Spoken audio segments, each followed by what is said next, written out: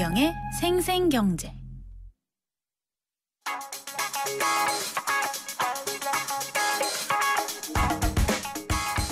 안녕하세요. 멜로디 경제 대중음악 평론가 이대화입니다. 토토가가 90년대 가요의 부활을 이끌고 있습니다. 90년대 가수들이 포털 사이트의 메인을 장식하고 그들의 음악이 음원 사이트 상위권을 차지하고 있죠. 김건모의 잘못된 만남은 그 중에서도 특히 인기가 많은데요. 잘못된 만남은 김건모의 1995년 3집 타이틀곡으로 90년대 댄스 가요의 새로운 지평을 연 곡이었습니다. 특히 판매량이 늘 회자되곤 했죠. 총 280만 장.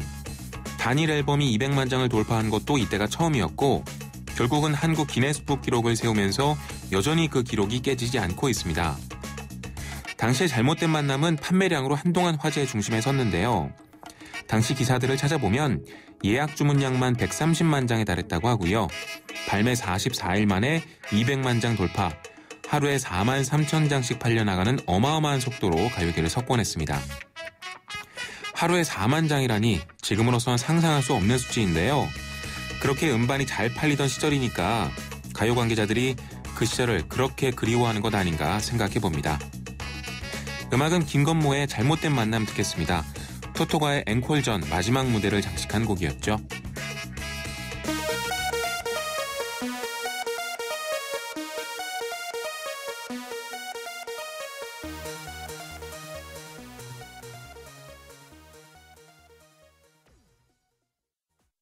광명역의 가치를 바로 앞에서 누려라.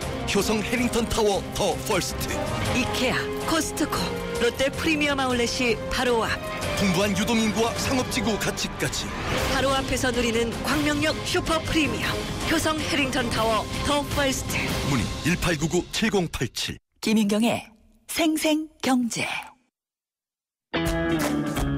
논란이 되고 있는 경제 이슈에 생생경제가 떴다. 생생경제 오늘의 두 번째 인터뷰는요. 대통령이 신년 기자회견으로 본 올해 정부의 경제 운영 방안입니다. 생생경제 3부 함께하고 계십니다. 오늘 박근혜 대통령 신년 기자회견을 통해서 국정 운영, 운영 구상 계획을 밝혔죠. 무엇보다 가장 큰 이야기는 경제 살리기에 모아졌습니다. 어, 모두 발언에서 경제라는 단어를 세어보니까 무려 42차례나 언급이 됐는데 작년에 비해서는 한 두 배 정도가 되는 그런 횟수였고요. 전체 언급에도 한 3분의 2 정도를 차지하는 것이 바로 경제라는 단어였습니다. 어, 대통령 신년 기자회견의 3년차 국정운영 구상계획 가운데 경제 부분을 저희는 깊이 있게 살펴보도록 하겠습니다. 이나대 국제통상학부 교수이시고요. 지금 국민경제자문회의 부의장이신 현정택 부의장님 전화로 연결해 보겠습니다. 안녕하셨습니까, 부의장 부의장님. 예, 안녕하세요. 네. 예. 어, 오늘 박근혜 대통령의 국정 운영 계사, 운영 구상 계획을 잘 들어봤는데요. 언제보다도 경제에 아주 많은 그런 주력을 하고 있는 것 같았어요. 이렇게 경제에 집중한 이유 어떻게 설명을 하시겠어요? 예, 지난해 2월 달에 대통령께서 경제혁신 3개년 계획 발표하면서 우리 국민경제자문회의하고도 회의를 했댔는데 네. 이 경, 경제혁신 3개년 계획이라는 게 뭐 통일까지 들어간 한 10개 항에 어떻게 보면 이 정부의 종합 계획이라고 볼 수 있습니다. 네. 우리 뭐 옛날 기억에 보면 아주 과거 정부는 뭐 경제개발 5개년 계획 또 그 뒤에도 로드맵 뭐 이런 것 쭉 발표했지 않습니까? 그렇죠. 근데 이 정부의 종합 계획은 한마디로 경제혁신 3개년 계획이다. 네. 근데 경제혁신 3개년 계획이 작년에 출범을 했고 금년에 이걸 꼭 아, 이뤄내야 되는 아, 해다 이런 의미가 있습니다. 왜냐하면은 내년이 총선거가 있거든요. 네. 아시는 대로. 그리고 그 계획의 중요한 내용이 금년에 그렇기 때문에 구조적인 개혁, 특히 선거가 있는 내년에는 이제 구조개혁이라는 게 상당히 어렵고, 그렇죠. 러니까 구조적인 개혁을 이뤄내려면은 금년에 이뤄내고, 그래서 회견에도 아마 그 내용이 상당히 들어있고요. 뭐 경기 순환적 사이클적인 거는 뭐 아닌 말로 금년에 못하고 내년에 저거 좋아지면 내년에 되고 또 5년 뒤에 좋아지면 하, 면 되는데 네. 이 혁신 계획을 내놓으면서 이제 구조 개혁에 방점을 두고 그게 금년이 아주 적기다. 그래서 뭐 골든타임이란 말도 네. 하신 것 같은데. 예. 그래서 골든타임, 혁신, 뭐 네. 오늘은 혁파라는 단어까지는 안 쓰인 것 같기는 네. 한데 예. 구조를 바꾸는데 정말 집중하고 있다는 느낌은 강하게 들더라고요. 네.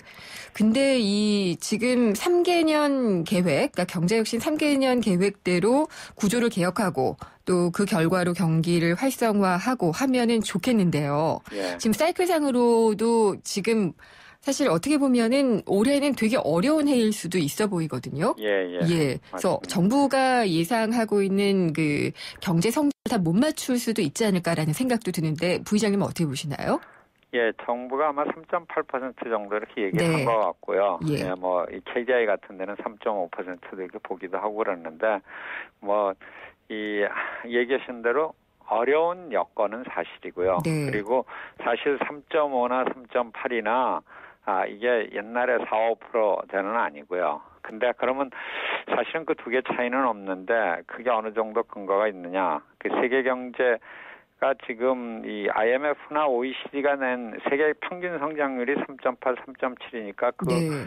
수준하고는 비슷한 건데 이게 어려운 여건인 건 사실입니다. 네. 그런데 또 너무 어렵다 어렵다 하는 얘기보다도 저는 이 예를 들면 또 이제 호재도 있다 하는 것은 반드시 볼 필요는 있을 것 같아요. 호재로 어떤 것들을 들어주시겠어요? 아마 제일 대표적으로 유가인데 네. 유가에 대해서 또 언론 같은 데서도 뭐 어떤 이 걱정들도 있다 이렇게 얘기를 하는데 쉽게 그냥 설명을 드리면 저희가 아 작년에 우리나라가 원유 수입한 게 10억 배럴, 배럴입니다. 네. 아 크게 보면 10억 배럴이고 그걸 또 작년에 뭐 거의 평균이 99불 뭐 야, 그렇게 되니까 평균 따지면 100불이고요. 그래서 원유 수입하는 데만 천억 불을 썼거든요. 예. 그 천억 불을 썼는데 그게 100불이 50불 되면 지금 50불 아래도 떨어져 있으니까 네. 500억 불만 내면은 필요한 원유를 수입할 수 있다는 건데 이 돈이 얼마나 큰 돈이냐면 지난해 우리가 자동차 정말 우리의 대표적인 수출품인데 자동차 다 팔아서 수출한 액수가 500억 불이 안 됩니다. 어, 그렇군요. 480억 불. 예. 그러니까 만약 이 상태대로 뭐서 올라갈 가능성도 있겠지만은 작년하고 올해 지금 현재 유가만 비교하면은 그냥 같은 양의 필요한 기름을 수입하는데 작년에 자동차 전부 팔았던 거 그 돈 안 들고도 네. 쓸수 있다니까 예를 들면 이제 이런 측면 뭐 뭐또아 뭐 금리 얘기도 하고 뭐 네. 환율 얘기도 하는데 그래서 그런 또 긍정적인 측면도 함께 보는 건 필요할 것 같습니다. 예. 어, 이럴 때는 석유 한 방울 안 나는 나라라는 게 이득을 보는 게 되네요. 우리뿐만이 아니라 예. 일본, 미국, 유럽, 중국 이렇게 우리하고 밀접한 이 관련이 있는 나라가 대부분 수요 쪽에 이게 저게 많은 나라거든요. 네. 그러니까 그런 나라들이 만약 유가가 계속 안정만 된다면은 물론 불확실성이 있겠지만은 안정만 된다면은 다 도움을 받는 거니까 그것도 간접적으로 어, 좀 긍정적인 영향을 줄 수 있다고 봅니다. 네.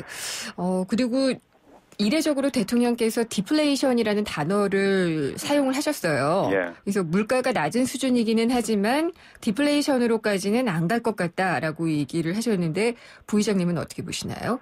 요 이 말씀하신 배경이 기자가 저성장 저물가로 일본처럼 되겠느냐 예. 이렇게 물어봤거든요. 뭐 당연하게 대통령이라면 저도 그렇게 된다고 답변할 수는 없는 거고요. 네. 어떻게든 안 되게 말들도록 아, 뭐 이런 정책을 취하겠다. 음. 또 국민들도 이렇게 노- 동참을 해달라. 그래서 네. 이제 구조개혁 얘기를 한 거고요. 근데 디플레이션이 아직 아닌 거는 사실인데 그 심각성에 대해서 이거를 정책을 다루는 금융통화 네. 운영위원회 이런 데 고민은 하긴 해야 됩니다.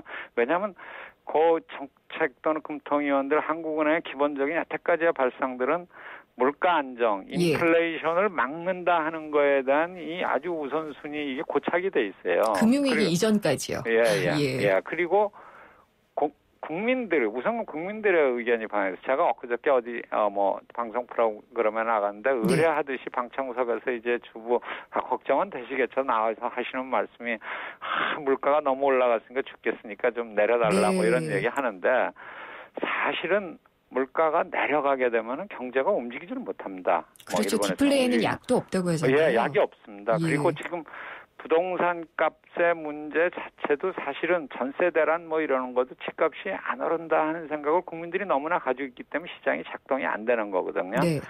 그런 점에서 보면은 어, 지금 생산자 물가는 작년에 0% 미만입니다. 소비자 물가는 뭐 금방 말씀하신 네. 대로 1, 1%대. 1%니까. 예. 그래서 이런 거를 좀, 어, 이 통화 정책 당국에서 심각하게 인식 을 해야 되는 거 아닌가 생각을 하고요. 그래서 뭐 금리, 기준금리 인하하는 것도 그 질- 기자가 뭐 물어봤을 때 스승님께서는 완곡하게 답변을 했지만은 네. 그래서 요 통화 당국이 정말로 좀 심각하게 인식을 하는 게 필요합니다. 근데 금리 내려서 네. 경기가 살고 어, 이 디플레도 막고 하는 게 효과가 별로 없었다는 평가도 있잖아요. 경기가 사는 거하고는 전혀 별개의 문제고요. 네. 예, 그러니까 그 자체가 효과가 어느 정도 있느냐는 건 저게 별개의 문제지만 일본의 경우도 그게 이제 그런저런 너무 많은 걱정이 많- 많았기 때문에 주춤주춤하다가 디플레에 빠져들었거든요. 네. 그러니까 한번 디플레에 빠져 들어가면은 예. 헤어날 수가 아까 말씀하신 대로 맞습니다. 없습니다. 예. 현재까지 우리는 한 번도 경험을 안 했지만, 그러니까 아까 경기 거하고 전혀 별개로 네. 디플레이션 구조로 들어가지 않게 하는 거. 디플레이션 구조라는 거는 물가가 내려가지 않게 하는 네. 거고, 그건 기본적으로 돈이 뭐 하여튼 이 많지 않기 때문에 생기는 현상이고, 그래서 이제 아베가 네. 돈을 아베 총리께서 아, 돈을 어뭐두 배로 막, 풀겠다 예. 하겠다는 건데 그게 한 20년을 허송세월 하고서 할 건 아니다 이거죠. 그러면 알겠습니다. 훨씬 어려우니까. 네. 예. 어, 정부 당국 에서 이렇게 발언을 해주면은 좋을 텐데 그냥 디플레 우려 없다. 뭐 이렇게만 얘기를 하면은 사실 심각성을 숨기려고 하는 것처럼 느껴지는 게 있거든요. 있습니다. 이게 네. 선진국도 그렇고 대부분의 나라가 이제 지금 일본 같이 그냥 완전히 발등의 불이 네. 아니라 불 속에 있으니까 이게 뭐 정부하고 이 중앙은행하고 뭐 이런 거를 이런저런 체면을 따질 그런 계좌가 아니어서 음, 네. 그냥 아베 총리가 중앙은행 보고 돈 두 배로 찍어라 그러는데 네. 일반적으로 이제 소위 선진국이라고 또는 우리도 이제 그런 대열에서는 이거는 정부는 재정의 몫이고 네. 통화 정책은 한국은행 금융통화운영위원회 이쪽 몫이니까 알겠습니다. 사실은 예. 저는 그래도 조금 빠져나와 있으니까 이런 얘기를 할 수 있고 네. 이 정부 당국자가 얘기하는 게 좀 그런 좀 아, 미묘한 문제가 있어서 아마 그렇겠죠. 얘기하게 됐으네. 예. 예. 그리고 이- 뭐 부의장님도 지금 강조하시고 또 강조를 했지만 예. 올해는 구조 개혁을 해야지 되는 골든 타임이거든요. 예. 대통령께서 얘기를 하신 연금, 노동, 공공기관, 금융 이렇게 4대 분야를 강력하게 구조 개혁을 하겠다라고 얘기를 했어요. 예. 근데 그 중에서 일단 좀 여쭙고 싶은 게 공공 부분, 그러니까 공공기관의 개혁이라고 하면 공무원연금 개혁이 예. 가장 큰 부분을 차지하고 있잖아요. 예. 이걸 4월까지는 꼭 처리해달라, 예. 처리해야 된다라고 얘기를 하셨는데 참 쉽지 않거든요. 어떻게 보시나요? 이렇게 쉽지 않고 네. 설득도 해야 되겠지만 우선 이 국민들도 실상을 좀 이해하는 게 필요합니다. 네. 예를 들면은 공무원연금 그 이제 해당자는 한 100만 명이고요. 예, 이분들이 이제 지금 연금 받는 거는 월 220만 원을 받거든요. 네. 국민연금은 2천만 명. 전부 이 가족 합치면 다죠. 대다수 예. 국민들이 가입하고 있는데 이분들이 지금 받고 있는 건 80만 원. 많은 차이가 납니다. 예. 뭐 여러 가지 계산이 있고 놀, 뭐 이제 어, 신- 신문이나 뭐 자료 같은 데서 뭐 불이익 금액이 다르다. 근데 쉽게 얘기해 가지고 올해 이 회사에 처음 들어가서 국민연금 받는 사람 보고 너 공무원연금 똑같은 거 가입할 수 있다. 가입할래 그러면 누구든지 가입할라 그러거든요. 네. 이게 또 차이가 있는 게 사실입니다. 예. 그런 아까 이 구조하에서 80만 원 연금 받는 국민연금 받는 전 국민들이 공무원연금에 오늘 회견에도 얘기했지만 세금으로 금년에 3조를 넣는다. 네. 이거는 얘기가 안 되는 얘기거든요. 그러니까 그런 그, 그런 상황에서 3조를 80만 원 받는 사람이 220만 원 받는 사람들의 노후 복지를 위해서 세금으로 3조를 쓴다. 그러니까 이거는 어떻게든가 고쳐가야 되고요. 네. 공무원 연금뿐만 아니라 공기업은 더합니다. 공기업은 지금 이 우리나라 정부 재정은 좀 괜찮지만 공기업 부채를 합- 합치면은 GDP가 한 예. GDP의 뭐 90% 100% 가까이 되기 때문에. 엄청나죠. 근데 예. 이런 공기업도 금방 말씀하신 대로 반발이나 설득 이런 것 때문에 작년에는 사실 한 게 뭐 적자 비율을 뭐 아, 부채 네. 비율을 220에서 200으로 고쳐라. 그래 조금 고치고 복립이 2천억 원 줄여라 하는데 2천억 원이라는 게 공기업 전체 예산에 비하면 뭐 수십조 네. 중에서 정말 이 아주 부스러기 같은 부분이니까 음, 이걸 네네. 제대로 하려면 뭐 말씀은 중복 기능 통합가 이렇게 해야 된다는데 예. 사실은 안 되는 회사는 문 닫고요. 네. 또 민간에 넘겨서 옮기고 이런 식으로 어, 근본적인 개혁이 음. 필요하다고 보겠습니다. 그럼 부의장님 이런 개혁이요. 예. 점진적으로는 더 이상 안 된다고 판단이 된 거죠. 그리고 시기가 급하고 예를 들어서 급하고. 아까 예. 연금도 금년에 3조고 네. 조금만 지나면은 그냥 다른 거 아무것도 안 하고 세금으로 10조씩 갖다가 알겠습니다. 아까 그런 후생을 예. 위해서 100만 명에 또 네. 혜택을 아, 줘야 되는 구조기 때문에 빠를수록 음. 좋습니다. 다급한 문제라고 지적을 예. 해주셨고요. 예. 그리고 이제 노동시장에서는 노동시장의 이중구조 얘기가 다시 한번 나와서 이 노사의 상생, 그러니까 노동시장의 구조개혁의 종합대책의 도출을 다시 한번 확인을 했는데 예. 이건 역시 쉽지 않아요. 예. 이 부분은 뭐 어, 노 사 간의 네. 문제도 있고 그다음에 또 정규직과 비정규직, 비정규직과 예. 그 문제도 있고 대기업과 뭐 중소기업의 문제도 있는데 이중 구조가 있는 게 사실입니다. 네. 그러니까 대기업에 노조가 있는 대기업은 월 400만 원을 받고 어, 중소기업 무노조는 140만 원. 네. 뭐 아주 상당한 격차가 있는데 이제 이 문제가 어렵게 느껴진 것. 또더 중요한 거는 이 아까 대부분의 이제 대기업 또는 뭐 윤호조 이런 데는 사대 보험 이게 훨씬 더 중요한데 이거는 사실은 대개 가입하고 있거든요. 95% 네. 100%. 한편 다른 쪽에서는 절반 정도밖에 가입 못하고 예. 이런 이중 구조가 아, 처해 있는 게 아주 현실인데 이 문제가 어려운 게 이쪽 못 받는 쪽 입장에서는 정부가 조금만 도와주면은 지금 대기업 윤호조가 하는 것처럼 400만 원을 받을 수 있다 또는 그런 직장에 할 수 있다 이런 기대가 사실은 속으로 좀 깔려, 깔려 있는. 거거든요. 최근에 예. 장글에 뭐뭐 예. 이런 얘기도 이게 이제 인기를 끄는 거는 아, 이, 이 국민 대다수가 그렇게 그쪽으로 아까 얘기하는 좋은 직장에서 네. 좋은 월급 받고 이렇게 할 수 있는 것처럼 돼 있는데 현실적으로 보면은 어, 이 중간에 선상 네. 그래서 그걸 유연 안전성이라 그러는데 한편으로는 이제 고용의 좀 유연성이 발휘되고 네. 그다음에 안전성 아까 예, 사회보장제도 같은 것도 이렇게 아, 가는 그런 알겠습니다. 체제로 고쳐져야 되고 하나만 예. 더 말씀드리면 네. 우리나라의 임금 체계가 이게 뭐 10년, 20년 오래 근무할수록 그냥 아주 최대는 한 300% 가까이 신입사원에 비해서 많은데 네. 이런 체제를 그냥 그대로 놔두고서는 지금 모든 사람을 다 고용할 수는 없습니다. 그러면은 그러니까 가진 임금이 좀 쪽에서는 조금 예, 나눠야지 되는. 임금이 좀 네. 어느 정도 올라갔다가 그다음에 좀 낮아진다는 거 임금 체계가 고쳐져야 되는데 예. 한쪽에서는 이 고령에 따라서 정년을 연장해야 되니까 아주 좋은 추세인데 그럼 네. 정년은 연장하는 거는 내가 좋은 떡이니까 받고 네. 피크는 그냥 지금 체대로 예. 더 올라간다. 그럼 그건 성립할 수 없는 체제거든요. 그렇네요. 예. 예. 알겠습니다. 음. 근데 부의장님 말씀을 들으니까 이 경제 살리는데 힘을 모아야지 된다는 것이 예. 더 다급하게 들리네요. 예. 예, 잘 들어봤습니다. 감사합니다. 예, 고맙습니다. 현정태 국민경제자문회의 부의장님과 얘기를 나눠봤습니다. 토마토가 그렇게 좋다길래 인터넷 검색을 해봤어요. 어머, 근데 토마토 진짜 좋아. 회식 많은 우리 대리운전 고객님, 특히 남자 고객님, 홍제동 김수미 강력 추천이 와요. 좌우로 정렬, 좌우로 정렬, 2588, 2588. 토마토 좋네, 토마토 좋아, 2588, 2588. 최근 소비자들 사이에서 연비와 정숙성이 탁월한 하이브리드 자동차에 대한 관심이 높아지고 있는 가운데 16km 복합 연비 그랜저 하이브리드에 프리미엄을 더해 더 좋아졌다. 또 하나의 그랜저 2015 그랜저 하이브리드 출시. New thinking, new possibilities. 현대자동차.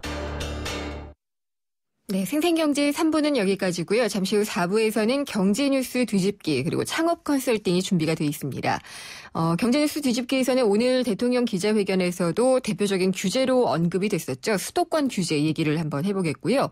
창업 컨설팅에서는 올해 어떤 창업 아이템이 좋을지 좋은 것과 나쁜 것을 구별해보는 법을 한번 짚어보도록 하겠습니다. 궁금한 점이나 의견 있으면 문자 주세요. 짧은 건 50원, 긴 문자는 100원이 부과되는 휴대전화 우물정에 0945번 또 YTN 라디오의 앱 예스나 웹사이트 김윤경의 생생경제 게시판에 남겨주시면 됩니다. 잠시 후 4부에서 뵙겠습니다. 아, 구제역이요? 그 소독으로 해결된다던데? 아니죠. 농가의 방역은 기본, 구제역 발생지 방문자재 같은 국민 모두의 협조가 필요합니다. 백신은 백신 있어야지. 무엇보다 올바른 예방 접종이 필요하겠죠? 백신은 얼지 않게, 주사는 가축 종류에 맞게, 주사기 하나로 다섯 마리 이상 접종은 절대 안 돼요. 특히 출하식이 돼지와 분만전 어미 돼지에도 백신을 접종해야 한다는 사실 꼭 명심하세요. 구제역, 올바른 백신 접종과 철저한 소독으로 충분히 막을 수 있습니다.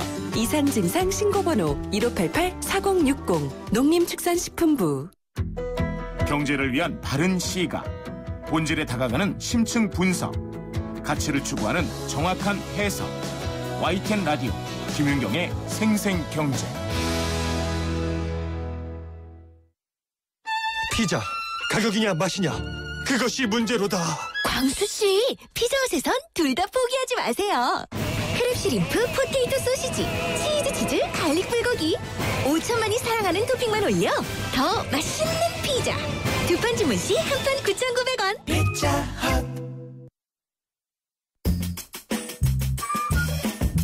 생생경제를 다양하게 만나는 방법. YTN 라디오 앱 예스와 YTN 라디오 웹사이트, 팟캐스트를 통해서 실시간 청취와 다시 듣기가 가능합니다. 언제 어디서나 손쉽게 만날 수 있는 생생경제. 참 좋다.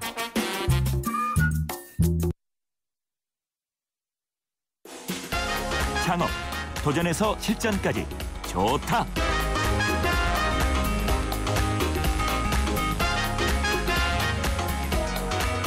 네, 막막하기만 한 창업, 생생경제에서 맞춤형으로 컨설팅을 해드립니다. 양띠가 시작된 지 벌써 열흘이 넘게 지났죠. 근데 어려움 속에서 올해도 어떤 방법으로든 창업 시장을 노크하시는 분들이 늘고 있을 겁니다. 어, 첫 번째로 고민하는 것 중에 하나는 역시 어떤 아이템이냐겠죠. 그래서 오늘은 창업시장의 아이템을 보는 시각에 대해서 말씀을 나눠보도록 하겠습니다. 스타트 비즈니스의 김상훈 대표가 전화 연결돼 있습니다. 안녕하십니까? 예, 안녕하세요. 김상훈입니다. 네. 창업시장에 올해도 들어가실 분들 많이 있을 거고요. 예. 아이템이나 뭐 브랜드 이런 게 가장 큰 고민이 아닐까 싶어요. 맞습니다. 사실은 요즘 뭐 아이템을 고민하는 것은 지금 현재 우리나라 1,500만 직장인 직장을 다닐 때부터 과연 직장을 그만두고 나면 무슨 사업을 할까 이런 아이템을 고민하시는 분들 정말 많고요. 네. 문제는 이 사실은 창업 시장에서 본다면 그러면 이렇게 신중하게 많은 시간을 투자해서 뭐 심지어는 아이템 찾아 산말리 이런 얘기가 있듯이 아이템 찾아 산말리요. 예예. 예, 예. 예. 정말 아이템 어떤 아이템 빅 아이템 참 많이 이렇게 찾아다니는데요. 시장에서 본다면 그럼 과연 이렇게 창업자들이 아이템을 결정하는 게 과연 창업 시장 성패에 미치는 영향이 몇 프로 정도 될까? 이런 부분들을 한번 좀 검토해 볼 필요가 있다고 보는데요. 소장님은 어떻게 보세요? 아이템이 성패를 좌우하는 몇 퍼센트 정도의 영향력을 미치나요? 아, 사실 이건 뭐 사실은 관련 학과의 한 박사 논문 정도 되는 주제라고 생각이 드는데요. 네.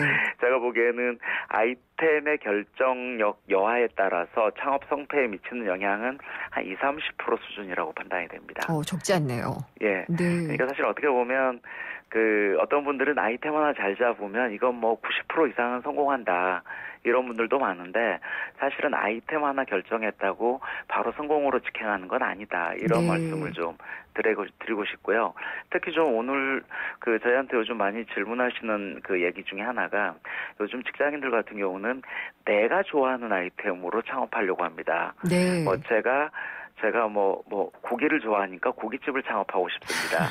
네. 제가 뭐, 이를테면 커피를 좋아하니까 커피집을 창업하고 싶습니다. 이렇게 그 예. 얘기하는데요.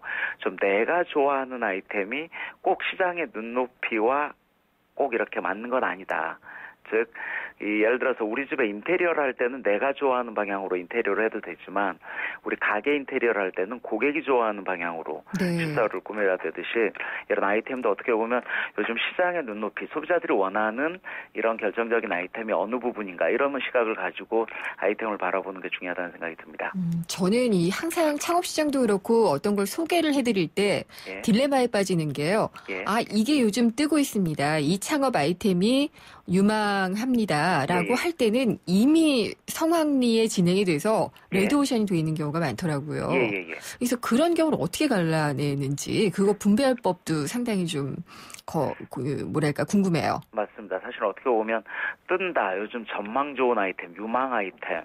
뭐 다시 말해서 창업자 입장에서 그렇다면 좋은 아이템은 도대체 어떤 아이템입니까? 이런 궁금증을 가질 수 있잖아요.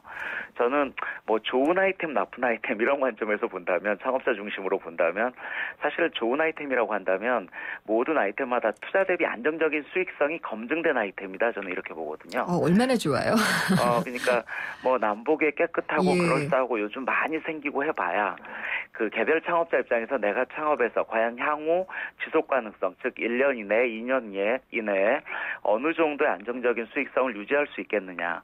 이런 부분 상당히 중요하고요. 그런 관점에서 본다면 요즘 사실은 단명하는 아이템이 너무나 많습니다. 네. 말씀하셨듯이 어떤 게 뜬다 그러면 이미 지고 있는 거 아닌가. 그렇죠. 이럴 정도로 뭐 브랜드에 따라서는 1년을 버티지 못하고 간판을 내린 아이템도 상당히 많기 때문에 뭐 저는 최단 시간 내에 100호점 달성 뭐 이런 카피를 걸고 영업하는 브랜드들도 있더라고요. 네. 즉 뭐냐면 어떻게 보면 단기간 내에 많이 오픈했다는 얘기인데 이런 너무 심해지잖아요. 단기간 내에 또 문을 내릴 수도 있습니다. 네. 뭐 이런 관점 중요하고요. 참 어떻게 보면 사업의 지속 가능성이라는 관점에서도 오래 살아남는 아이템이 어떻게 보면 좋은 아이템이 아니냐 이런 생각이 듭니다. 오랫동안 살아남는 아이템. 예. 그러면은 참 표현이 그렇습니다만은 나쁜 아이템은 어떤 게 있을까요?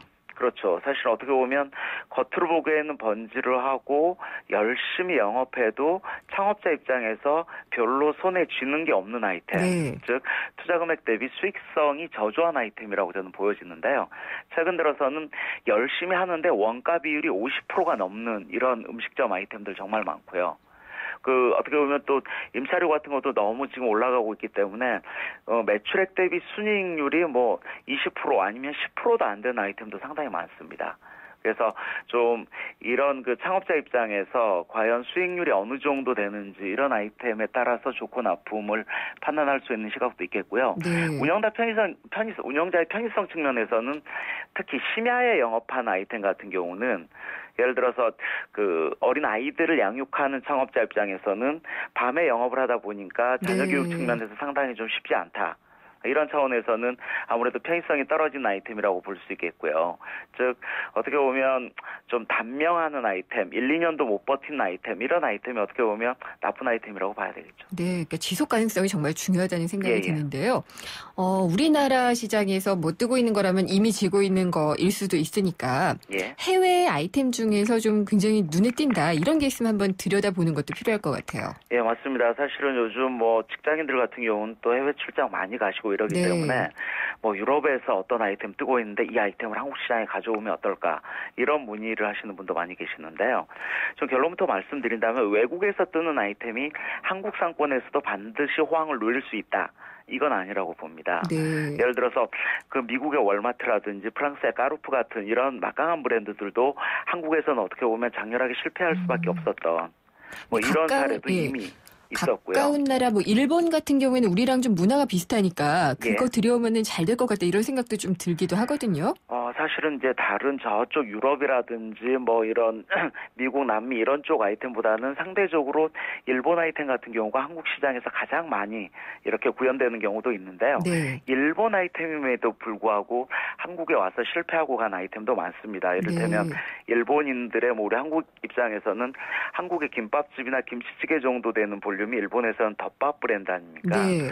그 덮밥 브랜드 중에서 아주 유명했던 요시노야 같은 브랜드도 사실 90년대 우리나라 모 대기업이 들어왔음에도 불구하고 바로 실패하고 나갔고요. 어, 네. 뭐 일본의 오코노미야키 브랜드 같은 경우도 오코노미야키 전문점으로 출점을 했습니다만 이 오래 버티지 못하고 바로 나갔습니다. 그렇군요. 하물며 저 유럽 터키의 케밥 전문점 같은 경우도 한때 프랜차이즈 브랜드로 많이 오픈했지만 한국에서는 적응하지 못하고 바로 문을 마- 그 바로 폐점하는 이런 사례가 상당히 많이 있기 때문에 좀 외국 아이템이라고 반드시 우리 한국에서 유망 아이템이다 이렇게 네. 보는 것은 좀 무리가 있다 이렇게 봅니다. 좋은 아이템이라 그래도 내가 돈이 안 되면은 그 아이템을 못 할 수도 있잖아요. 맞습니다. 사실은 어떻게 보면 이게 돈 정말 중요한데요. 자금대별 아이템 사실은 내가 정말 하고 싶은데 너무 돈이 많이 들어가더라 이런 얘기 많이 하시는데요. 네. 저는 이 돈에 대해서 말씀드린다면 자기 자본금이 얼마이냐에 따라서 창업 아이템의 컬러가 달라지는 것은 맞습니다. 네. 근데 저는 요즘 창업 시장에서 문제되는 것은 자기 자본금 1억 원 정도 있다 그러면 1억 원 이하 아니면 5, 6천만 원 정도 아이템부터 좀 보는 게 좋을 것 같은데요. 1단계 창업은. 근데 1억 원 정도 있다 그러면 한 5천만 원 정도 빌려서 1억 5천 아이템으로 실행하는 경우가 너무 많습니다. 네. 그래서 오히려 처음부터 이렇게 빚내서 창업하는 게 오히려 창업 실패로 이어지는 경우 상당히 많고요. 돈을 작게 투자하면 몸이 힘든 아이템을 좀 공략하는 게 맞고요. 네. 창업 자금이 반대로 여, 여유롭다고 한다면 오히려 뭐 창업의 선수 즉 매니저를 하나 고용해서 선수 매니저만 관리하는 이런 창업법도 가능하기 때문에 좀 더 창업 자금의 많고 적음에 따라서 창업법도 달리할 필요가 있다는 생각이 듭니다. 이 여기서 창업 자금이 충분하다면이라는 전제는 자기 자본의 비중이 많은 걸 얘기를 하시는 거죠. 예, 맞습니다. 네. 아무래도 초보 창업자일수록 남의 돈으로 또 장사하다가 안 되면 더 힘들어질 수가 있으니까 어, 예, 예. 그런 창업을 권하시는 걸로 이해를 하겠습니다. 오늘 말씀 잘 들었습니다. 감사합니다. 예, 감사합니다. 스타트 비즈니스의 김상훈 대표였습니다. 이건 왜? 뉴스에선 볼 수 없었던 뉴스 속 스토리. 경제 뉴스 뒤집기 한판. 아, 예. 경제 뉴스 뒤집기 시간입니다. 경제 뉴스를 좀 더 넓고 깊게 살펴보는 시간인데요. 오늘은 한국경제신문의 허원순 논설위원과 함께 얘기 나눠보도록 하겠습니다. 안녕하십니까? 네, 안녕하세요. 오늘 대통령 기자회견에서도 규제 얘기가 빠지지 않고 언급이 됐어요. 그렇죠. 특히나 예, 보면은 이제 예. 수도권에 있는 규제가 정말 그 손톱 밑에 가시다라는 얘기가 많이 있거든요. 예, 예, 그렇습니다. 그 오늘 사실은 대통령 여러 가지 얘기 중에서 뭐 구조개혁 이런 거 얘기하면서 규제 얘기가 나왔는데요. 네. 어, 수도권 규제 이거는 좀 종합적인 국토 정책 차원에서 뭐 의견을 수렴하고 합리적인 방안을 수렴해서 어떻게 규제 부분을 좀 해결하기를 원래 하겠다. 뭐 그렇게 완곡하게 했는데 정리해서 말하면 수도권 규제를 좀 풀겠다 그렇게 됐죠. 네. 그래서 이게 기- 어, 김영크 얘기처럼 손톱 밑 가시 정도가 아니라 제가 네. 볼때 수도권 규제는 덩어리죠. 아주 어. 큰 규제, 큰 덩어리 규제인데 네. 다만 이런 건 있습니다. 이 수도권이 규제이기 때문에 투자를 못한다. 수, 그러니까 기업들 수- 서울과 수도권의 아우성과 지방에서 보는 시각이 이게 많이 달라요. 네. 그죠. 그래서 어, 한쪽에서는 굉장한 규제고 이거면 예를 들면 투자를 좀 더 하고 해야 될 일이 많은데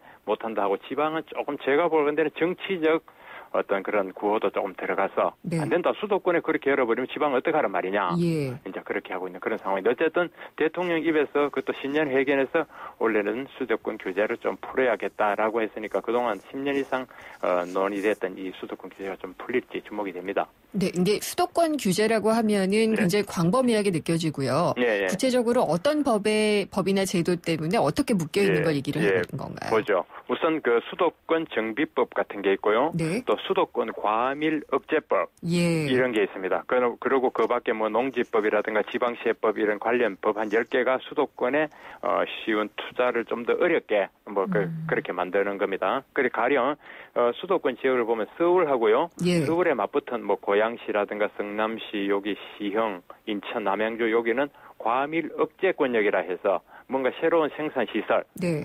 대학 주거단지 개발이 굉장히 어렵습니다. 네.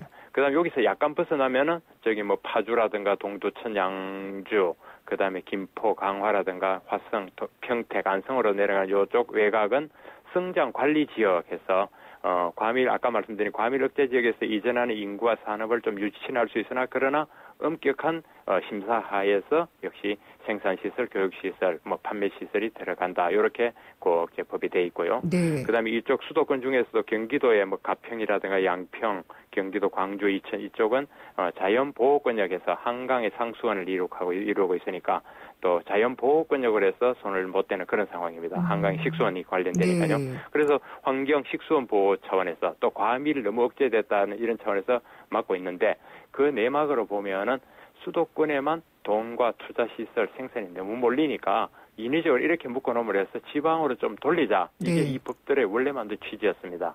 이게 사실 뭐 이촌 향도나 예. 과밀 성장 억제 이런 게 참 1980년대에 많이 얘기가 됐던 것 같은데 이런 맞습니다. 법들이 그때 만들어진 건가요? 네, 예. 그 80년, 90년 오면서 만들어졌고요. 예. 그냥 지방이 연합하고 이러면서 그게 이제 더 실용화돼서 무슨 협의를 거치게 한다든가 중앙 경무를 만들어서 못하게 했죠. 네. 그래서 이제 반대로 어, 서울과 수도권에서는 계속 풀어달라 하니까 본격적으로 논의가 되는 게 이제 10년도 더 됐네요. 노무현 정부가 들었을 때 네. 정확하게 노무현 후보 때부터 이거 수도권 억제는 좀 풀겠다 예. 그런 저 정책 공약을 냈었습니다. 그러고 이제 그 푸는 대신에 지방에는 노무현 정부 때 혁신 도시를 해서 그 대신 아. 어, 행정 수, 무슨 행정 도시 중심을 예. 어, 세종으로 보내고요. 그다음에 공기업들을 뭐 나주다, 뭐 대구, 뭐 울산 이런데 혁신 도시라고 보내고 대신에 그 반대로 수도권은 좀 풀어줘서 민간은 투자하겠다 이런 그림으로 가지고 왔거든요. 네. 근데 막상 풀려고 하니까 간극 지방의 간극까지는 오케이 좋습니다. 뭐 당연히 와야죠라는데 서울에서 푸는 거에 대해서는 계속 문제 제기를 하니까 지금 이렇게 쭉 와서 실제로 별로 없이까지 온 거죠. 지금까지. 예. 그러면은 지금 위원님 말씀을 들으면은 네. 수도권 규제는 이제 많이 풀 때가 됐다라는 뉘앙스가 느껴지는데요. 예, 예. 풀어도 되나요? 어, 뭐, 풀- 상황을 봐가면서, 네. 무조, 그렇다고 무조건 개발하라고는 하지 않을 거 아닙니까? 그죠? 예. 그래서 상황을 봐서, 예컨대 딱한 사정들이 이렇게 신문 기사에 보면은, 뭐, 지금, 어, 이렇게 두드려 보십시오. 수도권 규제로 인해서 투자가 안 된다는 게 무지무지 많습니다. 뭐, 예를 들어서 좀 어디 빙그레 공장에 라면 공장은 조금 더 이동, 오동을 못해서 물류비가 더 들었다 그러고요. 네. 하이트 진로는 정선을 못한다고 이런 사례들이 너무너무 많아서 제가 어디 하나를 사실 아. 소개하고 힘든데 그 내막을 들여다보면 기업에서는 굉장히 딱한 겁니다. 예. 어떤 데는 창고 시설에서 다- 단 1평방미터도 확장을 못한다도 있고요. 또 일괄 라인으로 쭉 늘어서가 생산 라인이 돼야 되는데 정설이 예. 안 되니까 에서 자로 꼬불꼬불꼬불 돌게끔 그걸 생- 돌아가는 라인이 만들기도 하고 뭐 이런 실상이 답답한 게 한둘이 아닌데 그걸 좀 풀어줘서 예. 좀 투자가 이루어지게끔 사실은 말이죠. 서울과 이 수도권이 젊은 도시라고 했는데 지방보다 요즘 굉장히 늙어간다 그러거든요. 네. 늙어간다는 게 고령자 인구 비율이 높아진다 이런 뜻인데 그게 수도권에서 젊은 사람들이 얼마나 일자리가 생산 시설이 없으니까 예. 점점 그 젊은 사람들을 위한 생산 이런 일자리가 줄어든다. 그런 것도 고령 수도권의 고령화에 또 영향을 미친다 하고요. 그래서 그러니까 일 무조건 평방- 수도권 안 예. 된다는 곤란하다. 어, 그러니까 1평방미터도 확장할 수 없다. 이런 거는 너무 비- 그 정말 불합리한 규제인 것 예, 같은데요. 그거는 하이트 공장의 실제 사례입니다. 37년 동안요. 네. 1평방미터도 어, 소주 공장을 못 늘려서 그 원액 이동시킨다라고 물류비를 이- 따로 만들고 해서 3배가 더 들었다는 것은 하이트 진로의 실제 상황입니다. 하이트 진로 이천 공장 사례입니다. 네. 그러면은 네. 이런 경우에는 좀 그 뭐랄까요? 지자체 장이나 이런 분들이 나서서 중앙 정부에도 좀 요청을 하고 이렇게 되면은 어 정말 이런 정도까지 안 되나 네. 이런 생각이 들거든요. 그렇죠. 그렇게 가야 되는데 이제 네. 문제가 뭐냐면 이게 이제 수도권을 푼다 이렇게 되면 각 지방의 도지사들 협의해서 딱 일거에 연합을 합니다. 아. 그리고 도지사들의 그 부탁을 받은 지역 출신 수도권에 아닌 국회의원들이 쭉 나서서 예. 그런 법 개정을 못하게 막는 겁니다. 그러면 그러니까- 더 차별이 된다. 예, 뭐 예, 수도권 건가요? 정비법 못 고친다. 지금 예. 그래 되면은 수도권에 몰리는데 인위적으로 좀 막아줘야 지방이 살지 이렇게는 안 된다고 해버리기 때문에 지금까지 반복된 과정은 늘 그랬습니다. 중앙 정부에서는 필요하다 투자를 하여서 좀 해주자 하면은 그 지방 도지사들이 스크럼을 짜고요. 네. 또 도지사들이 스크럼 딱 짜면 그 뒤에 앞에 뒤에 그냥 지역 출신 의원들이 쫙 짱돌 하나 들고 버티는 그런 상황이죠.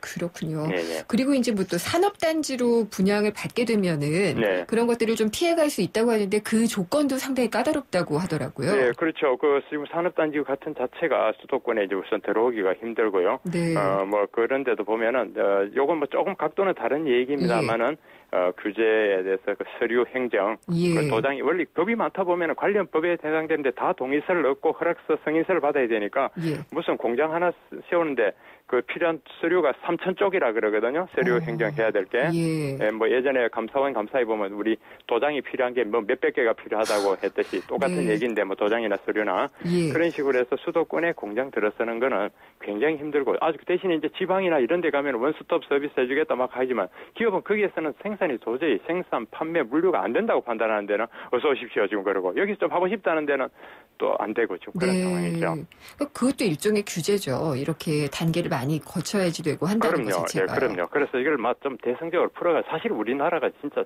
좁아졌습니다. 지금 뭐 KTX 타면 한 두 시간이면 전국 국토 끝까지 네. 가고요. 그래서 이걸 한 덩어리로 보는 게 수도권은 안 된다. 지방으로 하다 하기에는 교통과 예. 통신 이런 게 너무 발달해 가지고 좀 지방에서도 좀 그거를 좀 대성제로 봐주면 좋겠는데 네. 참 어쨌든 대통령은 분명히 풀겠다고 했는데 이걸 어떻게 진짜로 네. 어, 실무적으로 풀어나갈지는 원래 굉장히 관심사가 될 것 같습니다. 언뜻 떠오르는 생각이 하나 있는데요. 예. 이제 우리나라 기업들은 이렇게 많이 묶여 있는데 예. 한때 경기도나 이런 그 수도권 인근 지역에 외국 기업들 투자를 또 엄청 받고 그랬었잖아요. 그렇죠. 되면 그렇게- 역차별 받는 거 아닌가요? 예, 그, 그게 이제 사실 수도권뿐만 아니라 외국인 역차별이 뭐 곳곳에 한두 번이 아니죠. 동반성장 같은 데서 골목 상권에서 외국인은 되는데 한국은 안 된다. 네. 뭐 그런 경우도 있고요.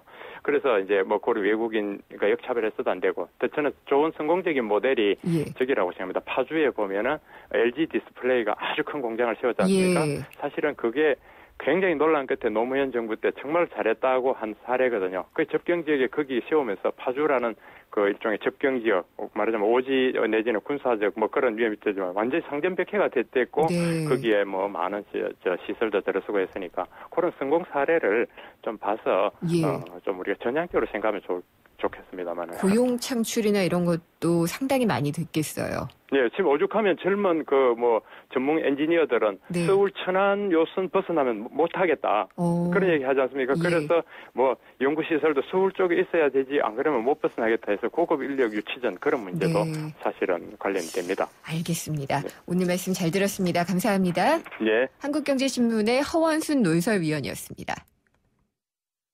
조인성입니다. 수트는 원래 불편한 옷일까요? 파크랜드의 생각은 다릅니다.